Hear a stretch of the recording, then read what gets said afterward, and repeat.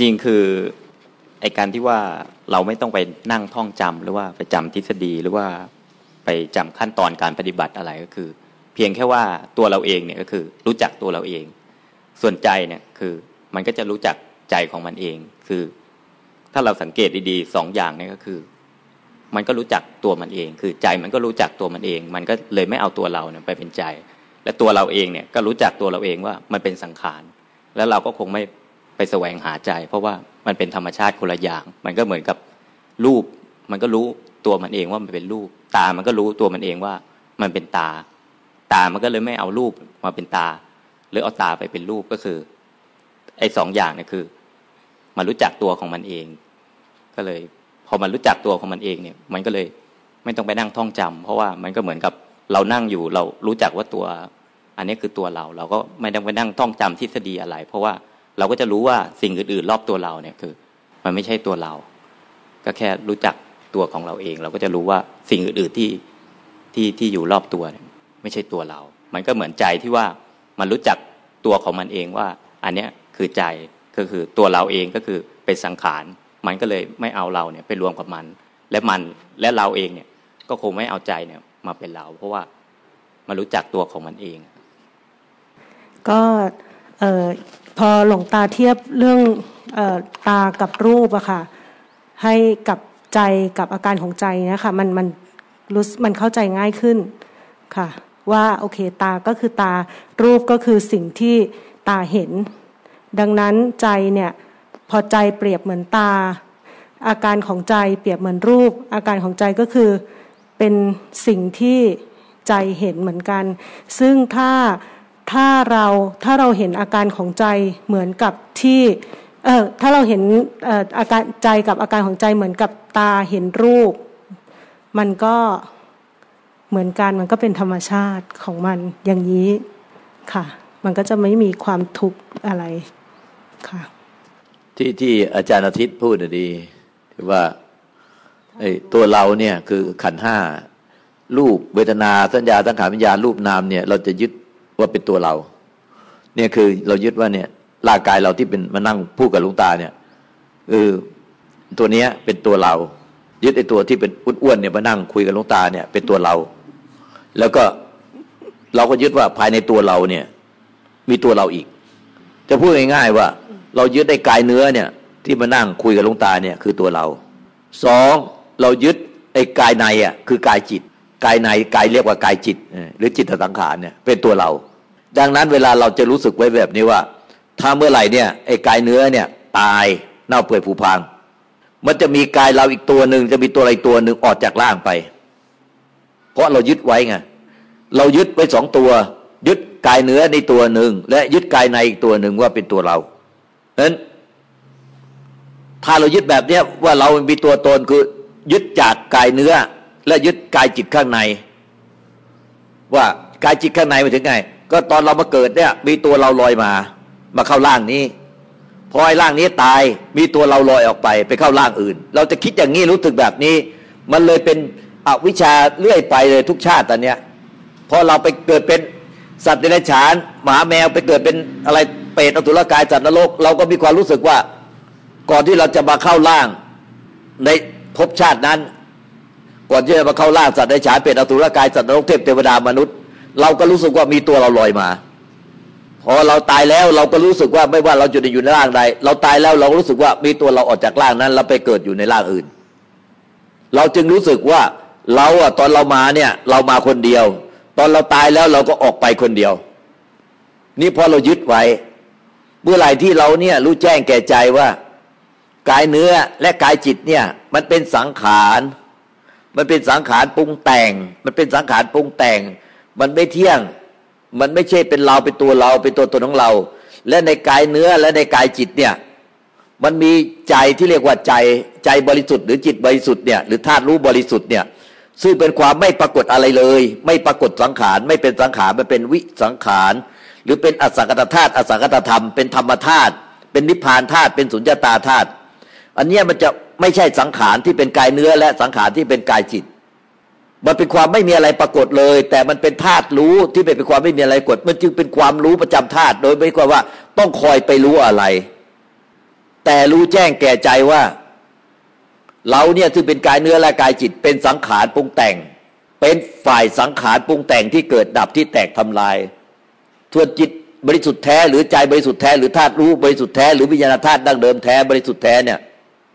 เป็นความไม่ปรากฏอะไรเลย และไอ้ความรู้แจ้งแก่ใจแบบเนี้ยมันเป็นความรู้ออกมาจากธาตุรู้นั่นแหละ ที่ไม่ปรากฏอะไร รู้แจ้งแก่ใจว่าใจบริสุทธิ์หรือจิตบริสุทธิ์เนี่ยไม่ใช่ตัวเราที่เป็นขันห้าขันห้าไม่ใช่ตัวเรา และส่วนใจที่บริสุทธิ์ก็ไม่ใช่ตัวเรา เพราะความคิดความรู้สึกเป็นตัวเราเป็นตัวความปรุงแต่ง สิ่งใดปรุงแต่งได้ไม่ใช่ใจที่บริสุทธิ์หรือจิตบริสุทธิ์หรือธาตุรู้ที่บริสุทธิ์เพราะว่าสิ่งนั้นปรุงแต่งไม่ได้ สิ่งใดทำกิริยายึดถือได้หรือปล่อยวางได้ ก็ไม่ใช่ใจอีก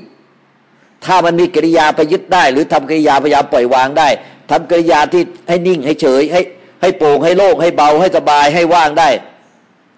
มันล้วนแต่ไม่ใช่ใจ เพราะใจอะ มันเป็นธาตุรู้แจ้ง มันก็รู้แจ้งออกมาจากใจว่า สิ่งใดที่มีอาการมีกิริยาที่บอกว่าจมไปในอะไรได้ มีตัวเราจมก็ไป ไม่ไม่ใจรู้เฉยๆแล้วคอยจมก็ไป ตอนนี้เราจะดึง ดึงตัวเราดึงใจของเราดึงจิตของเราให้ลอยออกมาไม่ให้จม ถ้ามันจมได้มันลอยได้ มันก็ต้องเป็นสังขาร เพราะธรรมชาติของจิตเดิมแท้หรือใจดั้งเดิมแท้ๆเนี่ย หรือไม่ต้องเป็นความบริสุทธิ์เนี่ยเขาเคลื่อนไหวไม่ได้ จมไม่ได้ ติดไม่ได้ ลอยไม่ได้ ยึดไม่ได้ ปล่อยวางไม่ได้ เป็นธรรมชาติอะไรล่ะ ก็เป็นธรรมชาติรู้ว่า ใจก็คือใจเป็นธรรมชาติที่ใจเนี่ยสังขารไม่ได้ ส่วนที่เป็นสังขารได้คือขันห้าคือ เนี่ยกายเนื้อเนี่ยกายหยาบจิตแล้วก็จิตละเอียดเนี่ยที่เป็นจิตเนี่ยเรียกว่าเรียกภาษาเราพูดกันว่ากายจิตกับกายเนื้อกับกายจิตเนี่ยมันเป็นสังขารปรุงแต่งไม่ใช่ใจ แต่ในกายเนื้อและในกายจิตเนี่ยมันมีใจที่บริสุทธิ์หรือจิตบริสุทธิ์หรือธาตุรู้บริสุทธิ์เนี่ยคือปรุงแต่งไม่ได้ แต่ความปรุงแต่งไม่ได้มันเป็นธาตุรู้บริสุทธิ์มันเลยไม่รู้ว่าอะไร ก็รู้ว่ามันเนี่ย ใจบริสุทธิ์หรือจิตบริสุทธิ์เนี่ยมันเป็นธรรมชาติที่ปรุงแต่งไม่ได้ ไม่อาจปรุงแต่งได้ เมื่อไม่อาจปรุงแต่งได้ มันจึงไม่มีตัวไม่ใช่ตัวเราที่ลอยเข้ามา แล้วก็ตัวเราที่ลอยออกไป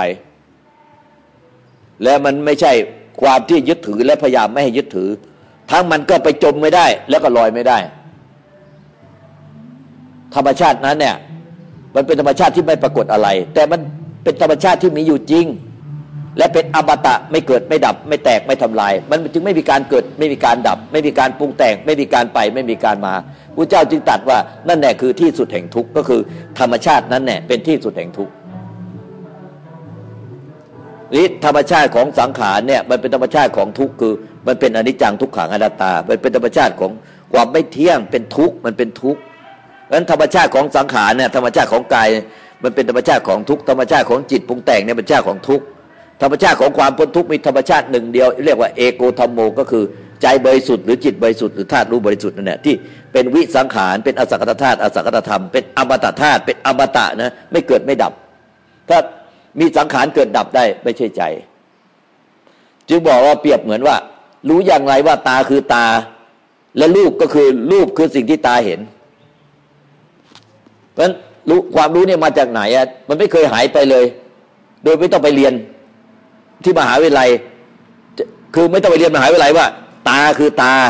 และรูปที่ตาเห็นเป็นอย่างไร ไม่เคยต้องไปเรียนนะ เด็กคนไหนก็ไม่เคยต้องไปเรียน แต่เด็กทุกคนเนี่ยโตมาแล้วก็รู้หมดแต่ว่า อะไรคือตาอะไรคือรูปตอบได้หมด ถ้าความรู้เนี่ยออกมาจากใจเหมือนดังรู้ว่าตาคือตารูป รูปที่ตาเห็นคือรูป มันไม่ใช่ รูปที่ตาเห็นไม่ใช่ตา ส่วนตาก็คือตา ถ้ารู้ทางใจแบบเนี้ยว่าใจก็คือใจใจที่เป็นวิสังขารไม่อาจสังขารได้ สิ่งที่สังขารปรุงแต่งในใจได้เคลื่อนมีการเกิดดับ มีการปรุงแต่ง มีการไปมีการมาคิดนึกตึกตอปรุงแต่ง นิ่งเฉยว่างโล่งโปร่งเบาสบายไม่ว่างโล่งโปร่งเบาสบาย มีการเกิดดับได้มีการเปลี่ยนแปลงได้ ใจอะมันรู้แก่ใจว่า ไอเนี่ยไม่ใช่ใจ เป็นความปรุงแต่ง แล้วก็ใจมันก็รู้ว่าเนี่ย มันเป็นใจ มันจึงไม่ทุกข์มันไม่หลงไปเป็นรูป ไม่หลงมาเป็นอาการที่ถูกรู้ได้ใจ ความรู้แจ้งแก่ใจเนี่ย ไม่เคยเกิดดับนะ ต่อให้เราทำงานอะไรอะลืมคิดถึงเลยลืมท่องไว้เลยว่าใจเป็นยังไง รูปเป็นยังไง แต่พอมีความรู้แจ้งแก่ใจจนถึงใจแล้วเนี่ย มันไม่เคยหายไปเลยว่าใจคือความไม่ปรุงแต่ง ส่วนปรุงแต่งใดไม่ใช่ใจ เมื่อมันถึงใจที่ไม่ปรุงแต่งแล้วมันก็รู้แจ้งแก่ใจว่า ใจเนี่ยคือธรรมชาติไม่ปรุงแต่ง เมื่อมันรู้จักใจซะแล้วมันจะไม่ลืมเลือนอีกเลย ที่เรายุ่งวุ่นวายลืมเลือนเนี่ยเพราะเรายังไม่รู้จักใจ ไม่เคยเห็นใจ ไม่เคยพบใจ เราเลยลืมเลือนไปหมด แล้วก็ไม่รู้ว่าใจคืออย่างไร เราเลยไปยึดเอาความปรุงแต่งมาเป็นใจหมด เนี่ยความผิดพลาดมันผิดพลาดอยู่ตรงนี้ มันเหมือนกับว่าเนี่ยอย่างท่านโอเนี่ยก็เปลี่ยนชื่อสมัยว่า วิสังขารหรือเรียกว่าใจเนี่ยเปลี่ยนชื่อเราใหม่ด้วยว่า วิสังขารหรือใจ เพราะท่านโอเนี่ยรู้จักตัวเองว่า เนี่ย คนที่มีรูปร่างหน้าตาแบบเนี่ย เดิมชื่อโอ แต่ตอนนี้เปลี่ยนมาเป็นใจบริสุทธิ์ หรือวิสังขารท่านโอต้องไปคอยท่องแล้วมองคนอื่นไหมในโลกนี้ในจักรวาลนี้ว่า นี่ไม่ใช่ ไม่ใช่ โอที่ใจที่เดิมชื่อโอ ตอนนี้ชื่อว่าใจที่ไม่สังขารเคนไปเจอคนนี้อีกก็ต้องท่องอีกว่า นี่คือคนอื่น ไม่ใช่โอเมื่อก่อนเป็นโอ ตอนนี้เปลี่ยนเป็นใจที่ไม่สังขารเนี่ยเป็นใจที่ไม่สังขารเมื่อเรารู้จักแล้วว่าเราคือใคร เราต้องไปคอยดูคนอื่น ไปคอยดูสังขารอย่างอื่น เราคอยท่องไหมว่าไม่ใช่ใจ ไม่ใช่ใจทำไมอะเราจึงไปไหนเราไม่เคยไปเจอใครในโลกนี้ในมากมายมหาศาลเราไม่เคยต้องท่องว่า เขาไม่ใช่เรา เขาไม่ใช่เรา เขาไม่ใช่เราแต่เป็นเพราะอะไร ก็เรารู้ รู้ว่าคนอื่นไม่ใช่เราไงค่ะ นั่นแหละแบบเดียวกัน เพราะรู้ว่าสังขารไม่ใช่ใจที่ไม่สังขาร อันนั้นเลยไม่ใช่ว่า เราไปคอยไล่รู้เกิดดับของสังขาร แต่ความรู้แจ้งแก่ใจว่าสังขารเนี่ย มันไม่ใช่ใจทำไมเราจึงรู้ว่าสังขารไม่ใช่ใจ เพราะเรารู้ว่าใจมันสังขารไม่ได้ เมื่อเรารู้ว่าเรานี่คือใคร เราคือชื่อว่าใจไม่สังขาร เราจะไม่ต้องไปนั่งท่องว่าคนอื่นเนี่ยไม่ใช่ไม่ใช่เรา เพราะเรารู้ว่าเราคือใคร ตอนนี้เราไม่รู้ว่าเราคือใครเหมือนว่า เราไม่รู้ว่าเราคือใคร เราไม่รู้ว่าใจมันคืออะไร คือความไม่สังขาร เราเลยหลงสังขารตลอดเวลาเลย หลงทำให้โปร่งโล่งเบาสบายพอมันมีอาการพยายามปรับปรับแต่งแต่งแก้แก้ไขอาการที่ลนผักใส่อาการเพื่อให้มันไม่มีอาการ เราทำสังขารหมดปรุงแต่งเป็นสังขารหมด ไม่เคยเป็นใจที่ไม่สังขารเลย แต่เราเนี่ยยุ่งวุ่นวายแต่สังขารเอาสังขารไปยุ่งวุ่นวายกับสังขารเอาสังขารไปปรุงแต่งสังขารตลอดเวลา เพราะเราไม่เข้าใจไม่รู้จักเราว่า เราเนี่ยคือใจที่ไม่สังขาร เพราะเราไม่รู้จักเรานี่ปัญหาอยู่ตรงนี้เนี่ยเราไม่รู้จักเราที่เป็นสังขารด้วย แล้วเราก็ไม่รู้จักเราที่เป็นความไม่สังขาร สรุปแล้วเราไม่รู้จักว่าไม่รู้จักขันห้า ไม่รู้จักเราที่เป็นขันห้าคือรูปนามที่เป็นสังขาร และเราก็ไม่รู้จักเราที่เป็นใจที่ไม่สังขารสรุปแล้วคือไม่รู้จึงเรียกว่าอวิชา วิชาจึงจึงแปลว่า รู้แจ้ง รู้แจ้งอะไรก็รู้จักเนี่ยไม่ใช่รู้จำไม่ใช่ท่องจำรู้จักรู้แจ้งแล้วว่า เราคือใคร เราที่เป็นปรุงแต่งได้คือขันห้ารูปนาม รูปเวทนาสัญญาสังขารวิญญาณ อันเนี้ยคือตัวปลอมคือตัวสังขารทำไมเรียกว่าตัวปลอมเพราะมันเป็นนิจังทุกขังอนัตตา ไม่เที่ยงเป็นทุกข์ เป็นอนัตตา ไม่ใช่เราตัวเราของของเรา ส่วนเราที่แท้จริง เนี่ยเป็นใจที่ไม่สังขาร เราไม่รู้จักทั้งเราที่เป็นตัวปลอม และเราที่เป็นตัวจริง มันจึงเป็นอวิชชาพอรู้จักรู้แจ้ง รู้จริงซะแล้ว รู้จักเราจริง ๆ แล้วว่าเราคือใคร เราก็จะไม่มั่วเอาคนในโลกเนี้ยมาเป็นเราเลย เราก็จะรู้อยู่ตลอดเวลาว่าเราคือใคร คนในโลกนี้ทุกคนไม่ใช่เรา และเราก็ไม่ใช่เขา เราไม่จุดรู้จักว่าเราคือใคร เนี่ยความไม่รู้อันนี้มันจึงเป็นอวิชชาไปทุกชาติเรื่อยไป ดังนั้นพอเราไม่รู้ว่าเราคือใคร เราก็ยึดปั้วหมด สุดท้ายเราก็ไปยึดเอาสังขารมาเป็นตัวเรา แล้วเราก็ปรุงเอาเนี่ยยึดกายเนื้อ ที่มานั่งคุยกับลูกตาเนี่ย ตัวอ้วนๆเนี่ยว่าเนี่ยเป็นตัวเรา แล้วก็ยึดไอ้กายจิตที่อยู่ในตัวเราเนี่ยเป็นตัวเรา เราก็ยึดว่าเนี่ยก่อนมาเกิดเป็นตัวเราเนี่ยมันก็เป็นตัวเราลอยมา เพราะพอเราตายแล้วก็เป็นตัวเราลอยจากล่างไป มันก็ไปยึดอย่างเงี้ยทุกชาติไป ไม่ว่าเกิดเป็นตัดเดชานมันก็คิดอย่างนี้รู้สึกอย่างนี้ ไปเกิดเป็นอะไรเป็ดอสุรกายก็รู้สึกแบบนี้ว่า มีตัวเราลอยมา พอเราตายแล้วมีตัวเราลอยออกไป แบบนี้มันก็ไปยึดเอาไอ้ตัวสังขารที่ลอยมาลอยไปได้เป็นตัวเราเรื่อยไปมันมันไม่เข้าใจว่าเราแท้จริงมันมีอีกตัวหนึ่งคือใจที่ไม่สังขารไม่มีตัวหรอกอันนั้นน่ะไอ้ที่มีตัวเนี่ยมันเป็นตัวสังขารตัวเกิดดับตัวตาย อย่าไปอยู่กับไอ้ตัวตาย ไปอยู่กับตัวไม่เกิดไม่ตาย ตัวไม่มีตัวไม่แตกไม่ดับไม่ทำลาย เป็นอมตะเนี่ยอมตะธาตุอมตะธรรม เข้าใจไหมเนี่ย เข้าใจแล้วค่ะ สาธุค่ะ